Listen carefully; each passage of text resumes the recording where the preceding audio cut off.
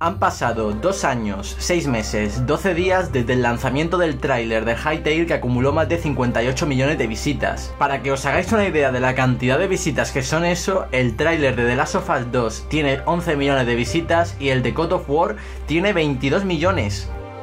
Han pasado 6 meses y 15 días desde la última actualización que los desarrolladores subieron a su web. Desde entonces solo se han ido comunicando con la comunidad a través de capturas que suben a sus redes sociales. Pero entonces, ¿Hytale está muerto? ¿Qué ha pasado? Voy a analizar lo que se sabe hasta ahora sobre Hytale con la perspectiva de que hace más de medio año que no recibimos ningún tipo de actualización. Mi objetivo en este vídeo no es defender a Hytale por defenderlo sin argumentos, sin nada de eso. Voy a contar un poco lo que me parece a mí desde la perspectiva de lo que han dicho ellos y de lo que es un proyecto real de la creación de un videojuego. También que sepáis que porque lleve 4 meses sin subir nada de Hytale y porque entre medias haya subido cosas de Isaac, no significa que este canal no siga siendo principalmente de Hytale. Mi objetivo sigue siendo ese, solamente que por razones obvias no puedo sacar contenido de Hytale y yo no me gusta forzar ni por mí ni por vosotros contenido porque sí. Así que bueno, simplemente que sepáis eso y empezamos este vídeo. Vamos a empezar por el 31 de agosto de 2020 que fue la fecha en la que dijeron que estaban trabajando en funciones del juego que debían mantenerse en secreto hasta ser finalizadas para ser reveladas correctamente, que este de por sí sonaba muy jugoso porque era wow. Estamos a mitad de 2020 desde entonces y todo parecía apuntar que no les quedaba demasiado para sacar información súper relevante, y eso hypeó mucho en ese momento. Incluso mencionaron el PvP y la estructura del modo aventura como cosas que ya estaban como finalizando, estaban trabajando en ello y finalizando, y aclararon que se acercaba el punto en el que iban a estar listos para revelar partes de Hytale que nunca antes se habían presentado. Aquí está el primer error, y ellos son conscientes de eso. Promesas que no se pueden cumplir. Después de cuatro meses de silencio desde esas revelaciones, hicieron otro post intentando pedir paciencia y explicando lo que a ellos les supone hacer Hytale como empresa. Imagino que para dar una visión realista de lo que es hacer un videojuego de esas características y dejando claro que a pesar del silencio están avanzando y yendo por la dirección correcta a pesar de que ellos son conscientes que las promesas que hicieron el 31 de agosto no se iban a cumplir ni en ese momento que ya se deberían de haber cumplido ni en lo que quedaba de, de medio año que es lo que llevamos esperando. Sabiendo todo esto, vamos a mirar más profundamente qué es Hytale. Al principio el proyecto de Hytale no era tan ambicioso. Ellos tenían pensado sacar el juego mucho antes, pero debido a la atención que obtuvieron con el tráiler se les vino encima una ola, con miles y miles de personas esperando un juego que realmente hiciera rival a Minecraft.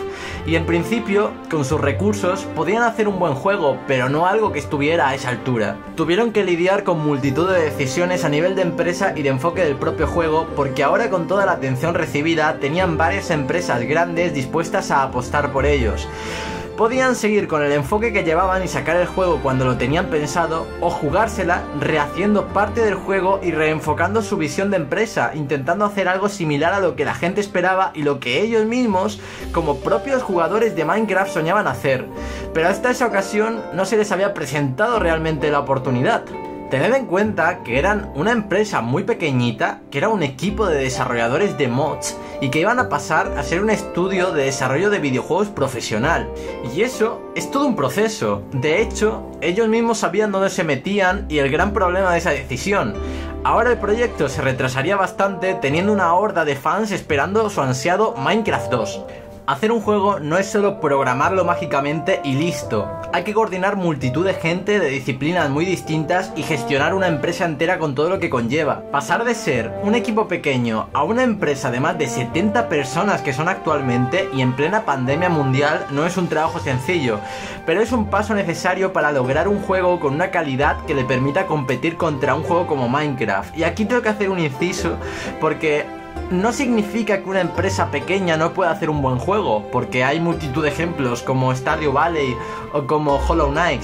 Pero claro, competir contra Minecraft, eso ya es otro nivel que realmente ellos hasta ese momento se lo habían planteado porque ellos querían hacer un juego pues de una temática muy similar, pero llegar a competir contra Minecraft ya son palabras muy grandes. Otro de los grandes problemas que considero que ha tenido Hytale es que le ha dado a la comunidad mucho teniendo poco. Y con eso me refiero a todas las actualizaciones que obviamente poco a poco han ido disminuyendo hasta el punto que actualmente llevamos más de medio año sin una de ellas y la última tampoco es que fuese muy sustancial. Y es que creo que eso también ha impulsado un poco a malacostumbrar a la gente. Porque, bueno, hay una serie de usuarios que simplemente les gusta el juego, les llama la atención y se olvidan. Vale, pero luego hay otros que siguen el proyecto y ahí es cuando vienen las decepciones, cuando ven que por alguna razón ya no sacan post mensual, post semanal, ya no están tan activos y es que el desarrollo de un videojuego es muy complejo y tú puedes hacer grandes avances en semanas o en meses y eso no verse reflejado en imágenes que puedas decir, mira esto, mira esa mecánica increíble, ¿qué tal? No, a lo mejor es simplemente que has avanzado en un aspecto de una mecánica, pero está enseñable, a pesar de que está yendo por buen camino, por lo que es que es complicado. Y ellos, claro, Hytale ha querido dar a los usuarios como ese, mira, estamos aquí, somos cercanos y no temas, pero a la vez eso ha hecho que la gente tema. Y es curioso. Yo incluso he visto gente quejarse de que vayan poniendo imágenes semanales, y es que si no lo hiciesen también se quejarían, por lo que al final da igual. Los desarrolladores de Hytale han dicho que no sacan posts semanales ni mensuales explicando actualizaciones de Hytale porque están usando todos sus recursos en hacer el juego lo mejor posible. Pero bueno, yo sinceramente no creo que se base únicamente en eso. Lo que pasa es que cara al público es lo que queda bonito decir y está basado en una realidad. Pero otra de las razones es que yo creo que no les interesa seguir alimentando el hype innecesariamente y además no quieren revelar todo el juego antes de que salga. Hytale ya está en cabeza de millones de personas que vieron el tráiler y muchas cientos de miles que han seguido actualizaciones y poco a poco se han ido alejando de Hytale porque se han olvidado ya que este no salía. Pero la semillita está en las cabezas incluso de la gente que no sigue el proyecto actualmente y gracias a que Hypixel Studios pertenece a Riot, cuentan con grandes recursos que les permitirá hacer una gran campaña de marketing cuando se acerque la salida del juego, devolviendo ese hype a multitud de personas que tenían esa semillita en la cabeza. Seguir haciendo una bola de hype con distintos aspectos del juego ahora no les interesa nada, es innecesario. Sacarán post cuando se vaya acercando la salida del juego. Y mira, hay mucha gente que dice que el juego no nota que avance, que si notan que está muerto, pero fijaos en esto de aquí que es un meme que encontró en Reddit, que se puede ver como en enero de 2020 y en mayo de 2020 se puede apreciar un cambio en la textura del culo de la vaca donde la cavidad anal podemos ver como tiene un agujero. Por lo que aquellos incrédulos creo que necesitan ver esto. En fin, lo siento de verdad, vi este meme en Reddit y necesitaba meterlo aquí, como fuese. Y bueno, vamos con la parte final del vídeo, donde vamos a comparar el juego con un indie que fracasó a con un triple A que fracasó, porque las comparaciones, no sé, las he visto bastante. Y aparte una de ellas me toca muy de fondo, que es la de Keyword, que de hecho vamos a empezar ahora mismo. No sé si sabéis quién soy yo, yo fui un youtuber de Q-War en su época, 2012, cuando era un bebé. Y bueno, la cosa fue muy mal por culpa de que el proyecto se fue a la mierda. Los que no conozcáis Q-Word, mm, tampoco hace falta que entendáis demasiado. Fue un juego que, para que entendáis por qué no tiene nada que ver con Hytale, fue desarrollado por únicamente dos personas. El programador era una persona y era un juego que creó mucha expectación en las redes sociales porque la verdad era muy bonito. Lo que pasa es que esa persona lo gestionó horriblemente mal. Era una persona, no tenía recursos. Y aún así, el tío quiso hacerlo por su cuenta en su propia página web. No utilizar ni Steam ni nada. Que ya os digo que los de Hytale tampoco van a utilizar ni Steam ni ninguna plataforma ajena a ellos. Pero es que ellos tienen recursos, tienen inversores. Son 70 personas. Este, esta persona era una persona. Y tenía un proyecto que era como un hobby que se le vino encima. Por eso digo, las comparaciones con Q-War me parecen odiosas, me parece, me parece que no tienen nada que ver.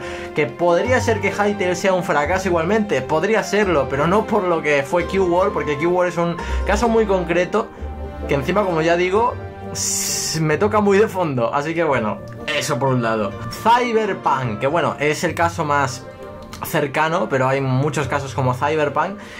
Y vamos a hablar también un poco de la posibilidad de que Hytale salga mal, porque oye, yo es verdad que me he dedicado mucho a, a defender Hytale porque yo, yo, lo que soy yo como persona, como individuo, como ente que piensa, yo creo que va a ir bien, pero claro, esa es mi opinión. Si tú tienes otra opinión y crees que va a ir mal, pues si sabes argumentarlo, o incluso sin tener argumentos, pues es tu opinión y ya está. Yo en este vídeo es verdad que a lo mejor he sonado muy defensor de ellos, pero yo también mm, eh, eh, los entiendo, o sea, los entiendo como empresa, los entiendo con lo que están pasando y encima ellos también siempre se han mostrado como muy transparentes y se han equivocado, como se puede equivocar pues cualquier estudio que esté haciendo cualquier tipo de software. Lo que pasa es que el tema de los videojuegos pues suele estar, este tipo de estudios suele estar como más...